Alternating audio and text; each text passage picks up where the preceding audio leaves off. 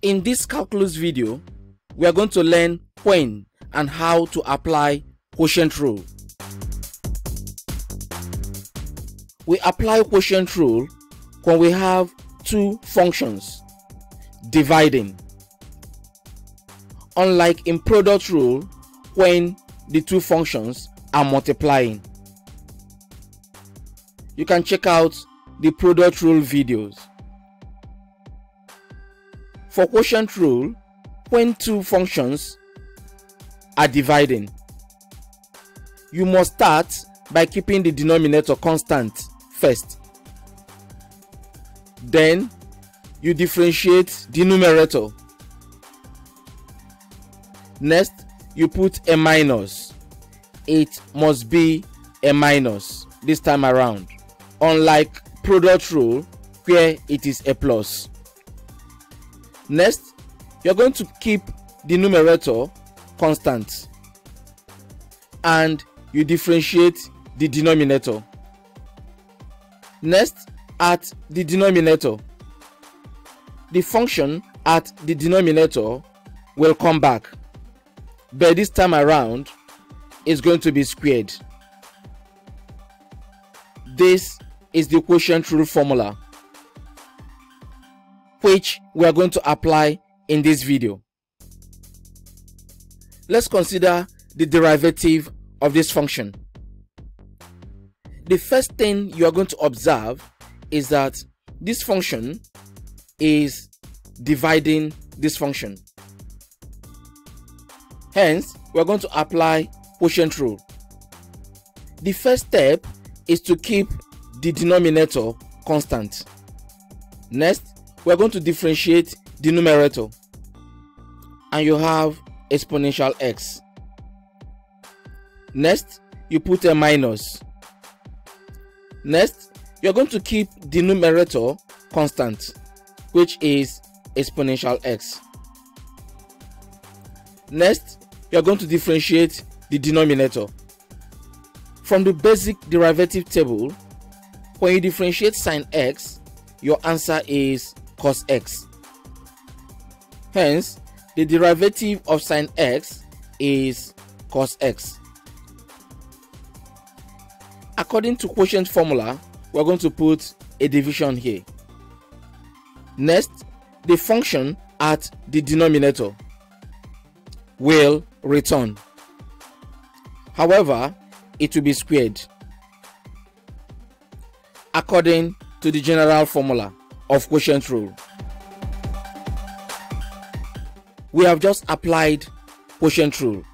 Next is to simplify your result. If you factorize exponential out,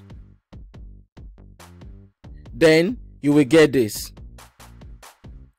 We can rewrite the denominator like this. Both are the same. And this becomes our final answer. From the options, our answer is B.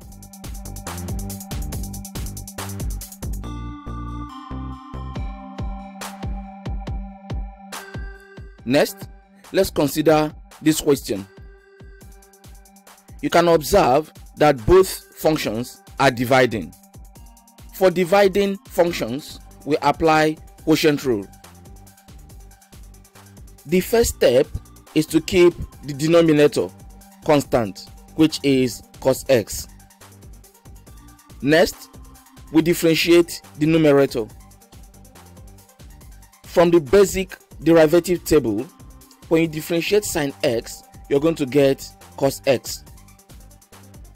Hence, I'm going to have cos x for the derivative of the numerator. Next, I will put a minus. And this minus is in the quotient rule formula. Next, I'm going to keep the numerator constant. Here, it is sine x. Next, I'm going to differentiate the denominator, which is cos x. From the basic derivative table, when you differentiate cos x, you're going to get minus sine x. Hence, I'm going to have minus sine x here for the derivative of cos x. Next, you draw a long line across the numerator. Next, anything at the denominator will come back to the denominator. However, from the quotient rule formula, it's going to be squared. Hence, I'm going to square this. We have completed the application of the quotient rule. Next, we are going to simplify our result. Next, cos x multiply by cos x. We have cos x squared. Next, we include this minus. Next, sine x multiply minus sine x. We are going to have sine squared x. However, this minus will come to the back. Next, the denominator will just come back. Next, this minus will multiply minus and you're going to get a plus. Next, you can rewrite the function. This and this are the same. This is just a repeat of this. From the basic trigonometric identity functions, sine squared x plus cos squared x is equal to 1. Likewise, cos squared x plus sine squared s is still equal to 1. Hence, everything at this numerator is equal to 1. And at the denominator, we're going to have cos squared x. Subsequently, from the basic trigonometric identity functions, sec x is equal to 1 over cos x. Likewise, 1 over cos squared x is equal to sec squared x. By simplifying our result, our dy dx is sec squared x. From the options, our answer is D. Find the derivative of this function. Both functions are dividing. Hence, we apply quotient rule. The first step, keep the denominator constant. Next, differentiate the numerator. If you differentiate x, it is 1. If you differentiate 1, it is 0. However, I will let the 0 out and I will leave only 1. Next, according to the rule of quotient rule formula, I will put a minus. Next, I will keep the numerator constant, which is x minus 1. Next, I will differentiate the denominator, which is 1. Plus, if I differentiate 1, is 0. But if I differentiate x, is 1. However, I will let the 0 out. I will leave only 1. Next, I will draw a line across the numerator. Next, I will bring down the value at the denominator, which is x plus 1. However, according to the rule, it's going to be squared. Next, 1 multiplied by x, and you're going to get x. Next, 1 multiplied by 1, and you're going to get 1. Next, we have a minus. 1 multiplied by x and we have x Next, 1 multiply minus 1. And we're going to get minus 1. And the denominator remain the same. Next, you open up the bracket minus times x we're going to get minus x minus multiply minus 1 we're going to get plus 1 next plus x we take away minus x. And our dy dx is 2 divide x plus 1 squared. From the options our answer is D. Next let's find the derivative of this function. Dy dx or y prime or dxy different notations but mean the same thing. Step number one keep the denominator constant. Next differentiate the numerator. If you differentiate 2 it is 0 if you differentiate x it is 1 however i'm going to let this 0 out leaving only minus 1 next i will put a minus. Next i will now keep the numerator constant which is 2 minus x. Next i will differentiate the denominator. If you differentiate 2 it is 0 if you differentiate x it is 1 however i will let this 0 out leaving only 1 next i will draw a line across the numerator. Next i'm going to bring down the denominator which is 2 plus x. However according to the formula of quotient rule i'm going to include a squared at the denominator only. Next minus 1 times 2 we're going to get minus 2 next minus 1 times x. We're going to get minus x. Next remember our minus. Next 1 multiplied by 2 is 2 however the 2 multiplied by this minus will leave you with minus 2 1 multiply by minus x. You're going to get minus x. Minus x multiply by minus. You're going to get plus x. And the denominator remained unchanged. Next minus x we cancel out plus x. And minus 2 minus 2 will give you minus 4 and the denominator remained unchanged. This is our dy dx from the options our answer is a.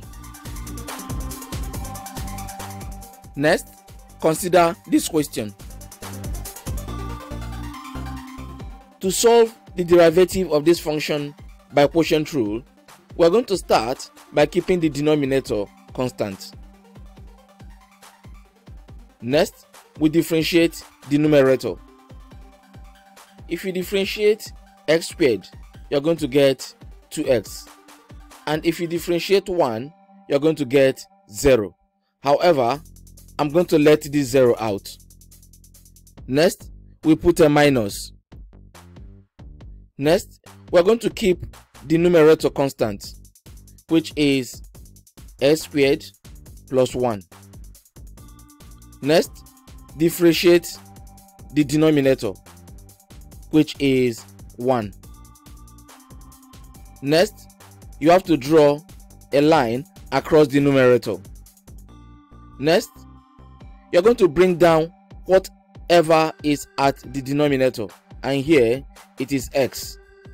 However from the formula it will be squared.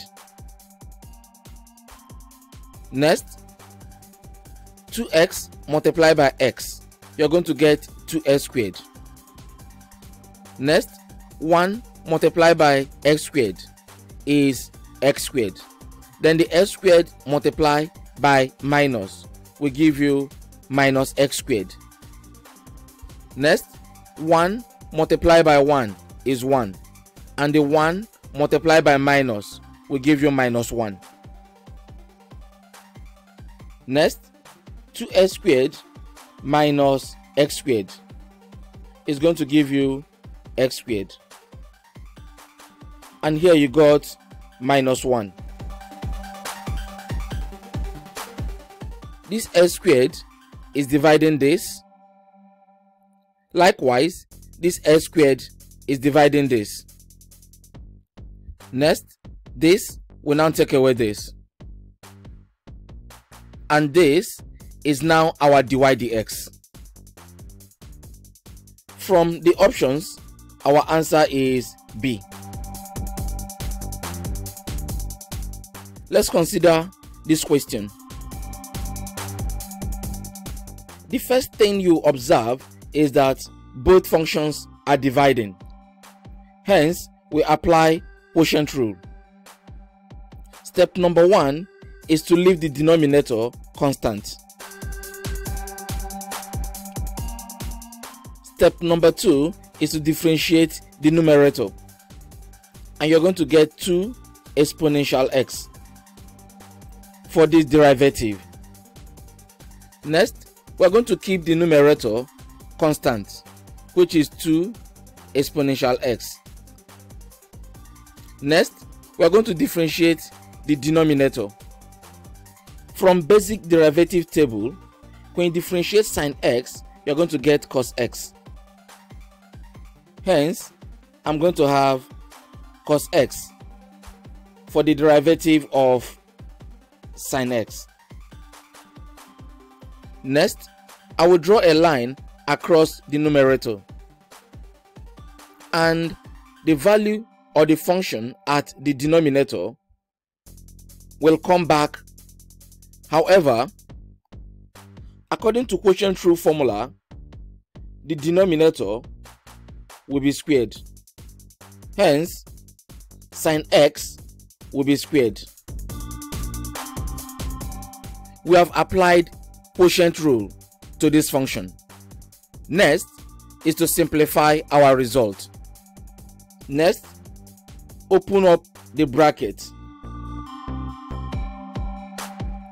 Next, factorize 2 exponential x out. And this becomes our dy dx.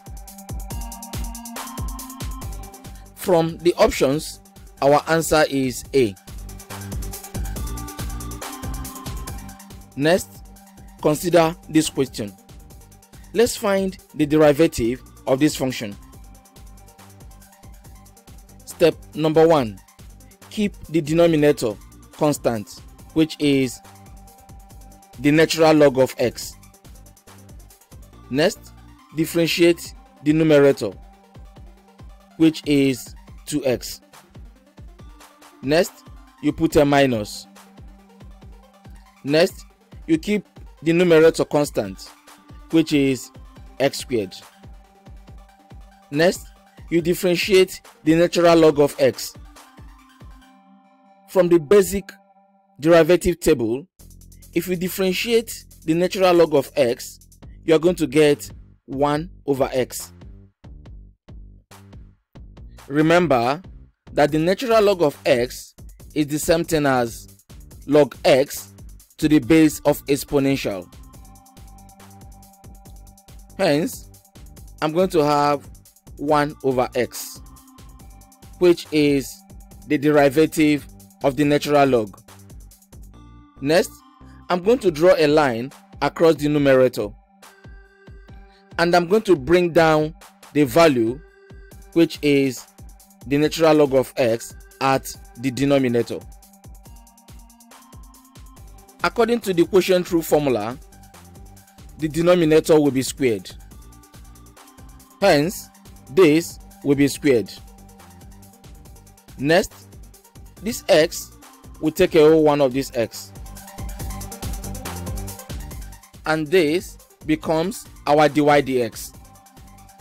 From the options, our answer is C. In the next video, we are going to consider a tricky quotient rule question with product rule and chain rule. This is calculus. In subsequent videos, we are going to be looking at chain rule, when and how to apply. And you can locate all the videos. These are recommended video topics in differentiation and also some suggested video topics in integration including their applications.